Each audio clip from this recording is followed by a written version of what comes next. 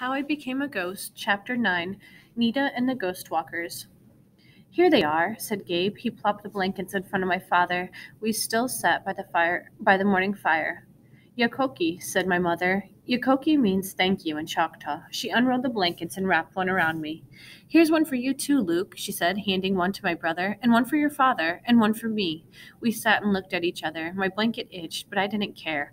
I was with my family, and we were warm. For the first time since our homes were burned, we were warm. As we started the day's walk, the sun shone in the sky and uh, was clear and cloudless. The road was frozen at my feet and my feet were cold, but the sun felt good on my face. We walked through the thick forest, and melting icicles fell all around us. A tree branch broke and fell to the ground. Nita squealed and jumped under my blanket. Can I walk with you? she asked. Her tiny voice was so soft and muffled by the thick blanket. Yes, little Nita, you can walk with me, I said, giving her a big smile. I never had a big brother, she said. Will you be my big brother? Of course, I said. I'd be happy to be your big brother. The night the camp or that night at the campfire, Nita suddenly stood. She walked close to the fire and turned to look at us. What are you doing? her mother asked. I have to say or I have something to say. To everybody, Nita said. What is it? her mother asked. I have a big brother. Isaac is my new big brother. I hung my head and hoped no one would make fun of me. I thought this big brother thing would be a secret. It didn't look or I didn't look at Luke. If anybody laughed at me, it would be him. I was wrong. Isaac will be a good big brother for you, Nita, Luke said. I like being his big brother. He will like being yours. I looked up and Luke was smiling at me. Yakoke, I said softly. I looked around the circle and everyone was staring at me, waiting for me to do something. This was a special time, but I didn't know what to do. I finally stood and walked over by Nita. I am proud to be your big brother, Nita, I said. I will take care of you. Everyone nodded and smiled, and Ruth started singing the Choctaw Friendship Song. We all joined in, and for the first time, our two families felt like one. I hope Nita, or I hoped I could keep my promise, my promise to uh, keep, take care of Nita. Later that night, just before I fell asleep, I had a funny thought. If I am a ghost, how can I take care of Nita? I asked myself. By morning, I knew what to do. I could take care of Nita as best I could while I was still alive. I ate my breakfast in a hurry, and while everyone else was eating, I found a sharp stone. I cut two small pieces from my blanket. Nita, let me see your feet, I said. Nita lay back on her mother's lap and lifted her feet high.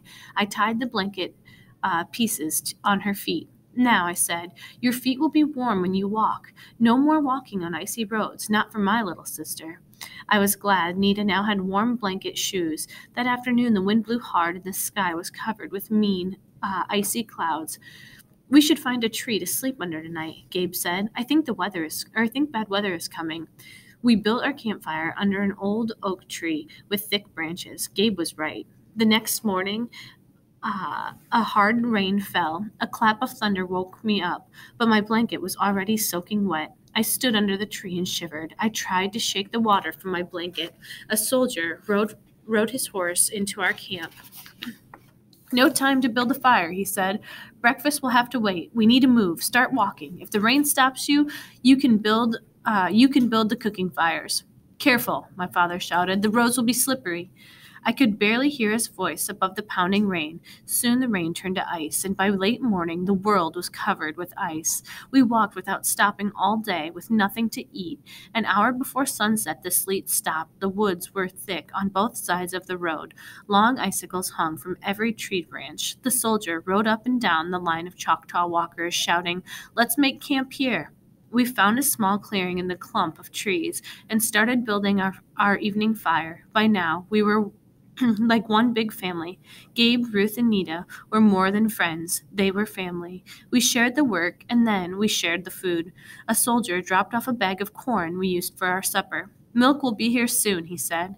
In a few minutes, another soldier brought a jug of milk. Thank you, Gabe said. Where did you get milk? We bought it from a nearby farmer, said the soldier. I hope that farmer has a lot of cows, Gabe said after the soldier left. The Soldiers left.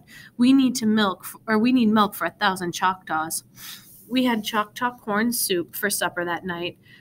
Pashofa, we call it, soft corn in milk chowder. Yum. The next morning, I remembered what Gabe had said a thousand Choctaws. As we started to walk, I felt a warm shiver. I was afraid to open my eyes. My two families surrounded me, and I didn't want or and I didn't want to see anybody die. I do not want to know, I whispered to myself, and then I felt a warm hand on my cheek. It is me, Isaac.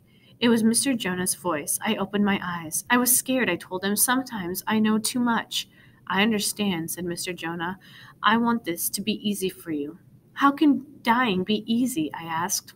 I cannot give you a good answer, he said, but there is something you should see. Go ahead, look around. I pulled back my blanket and stretched my neck high. As far as I could see, Choctaws were beginning their walk for the day. I see this every day, I said. Mr. Jonah laughed. You're not looking close enough. I squinted my eyes. The shiver was so warm I felt as if I were sitting close to the fire. I saw the Choctaw walkers like before, but now I saw hundreds more Choctaws, Choctaw ghost walkers. Where did these people come from? I asked. They came from all over Choctaw country, he said. They died from the fires. They died from the sickness, and they died from hunger. But they will never leave.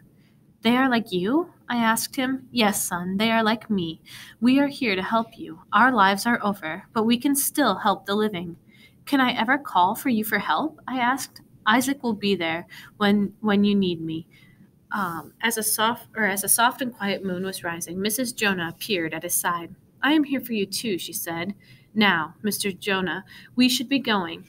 Or said Mr. Jonah, we should be going. Today will be hard for you. Know that we are here. I closed my eyes and they were gone. Isaac, my father shouted, catch up. This day was the coldest day of our walk, colder than our days in the swamp. Freezing rain fell all uh, all day long, and I could not forget what Mr. Jonah had said. Today will be hard for you. I wondered what he meant. I soon had my answer.